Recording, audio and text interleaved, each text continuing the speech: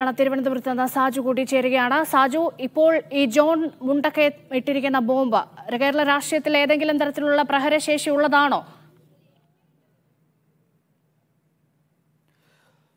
രേഷ്മ ഈ കാര്യങ്ങൾ പലതും അന്ന് തന്നെ അണിയറ സംസാരങ്ങളായി വരികയും മാധ്യമങ്ങളിൽ പലതരത്തിൽ അയക്ക വരികയും ചെയ്തിട്ടുള്ള കാര്യങ്ങളാണ്.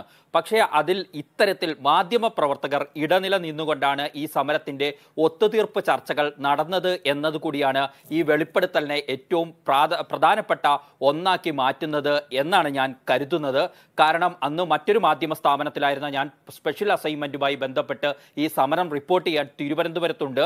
അന്ന് ഈ പറഞ്ഞ നേതാവിന്റെയും ഇപ്പോൾ കേന്ദ്ര കമ്മിറ്റി അംഗമായ മറ്റൊരു നേതാവിന്റെയും ഞെട്ടൽ നേരിട്ട് കണ്ടതാണ്. ആ ഞെട്ടൽ ഇന്നും എന്റെ ഓർമ്മകളിൽ വളരെ കൃത്യമായി തന്നെ നിൽക്കുന്നുണ്ട്. സമരം പിൻവലിച്ചു എന്ന് പറയുന്ന ആ ഓർമ്മയ്ക്ക് അവരുടെ ആ ഞെട്ടലിന് ഞാൻ കൂടി സാക്ഷിയാണ് എന്ന വസ്തുത അവിടെ നിൽക്കുന്നു. കാരണം അന്ന് ആ സമരപ്പന്തലിൽ രണ്ട് മുതിർന്ന നേതാക്കളായിരുന്നു ഇത് പിൻവലിക്കുന്ന സമയത്ത് ഉണ്ടായിരുന്നത്. അന്നത്തെ ദൃശ്യങ്ങൾ പരിശോധിച്ചാൽ മനസ്സിലാവും. ആ രണ്ട് നേതാക്കളും അന്ന് ആ മാധ്യമങ്ങൾ വാർത്ത നൽകുമ്പോഴാണ് ഈ സമരം പിൻവലിച്ചു എന്ന കാര്യം അറിയുന്നത്. പക്ഷേ ഇപ്പോൾ ഏറ്റവും പ്രധാനപ്പെട്ടത് സി പി എം മുൻകൈ എടുത്തുകൊണ്ട് സി പി എം തുടങ്ങിവെച്ച ഒരു സമരം എങ്ങനെയെങ്കിലും അവസാനിപ്പിച്ച് തലയൂരുകയായിരുന്നു എന്ന വിമർശനത്തെ സ്വാധൂകരിക്കുന്ന രീതിയിലുള്ള വെളിപ്പെടുത്തലായി ജോൺ മുണ്ടക്കയത്തിന്റെത് മുതിർന്ന മാധ്യമപ്രവർത്തകന്റേത് മാറുകയാണ് എന്നുള്ളതാണ്. കാരണം അന്ന് ആ സമരം തുടങ്ങുമ്പോൾ അതിന് വലിയ പ്ലാൻ ഉണ്ട് എന്നായിരുന്നു നേതാക്കൾ നമ്മളോടൊക്കെ പറഞ്ഞിരുന്നത്. ആദ്യത്തെ ഘട്ടത്തിലുള്ള സമരം മുന്നോട്ട് പോകുമ്പോൾ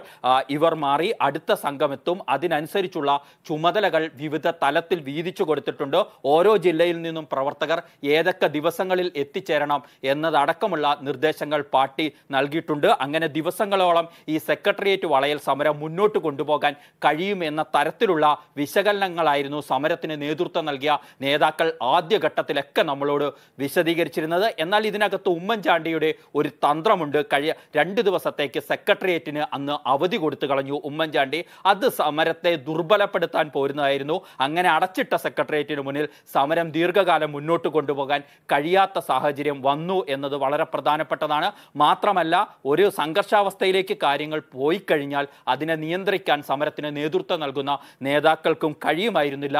ഇതെല്ലാം ചേർന്നപ്പോഴാണ് ഈ ഒത്തുതീർപ്പ് നീക്കങ്ങൾ ഉണ്ടായി എന്നുള്ളത് വസ്തുതയാണ്.